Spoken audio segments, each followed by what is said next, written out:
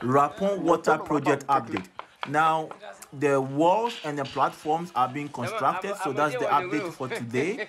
Today, they've done the platform at Wrapong and they are constructing the walls around the, um, the platform.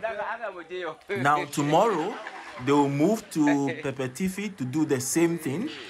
Um, so tomorrow they'll complete this and then they'll move to Perpertifi to complete the platform and the walls as well. Now, hopefully by Monday, by Sunday, um, they'll be done, the painting will be done, and then Monday, um, the people will be allowed to use this after commissioning.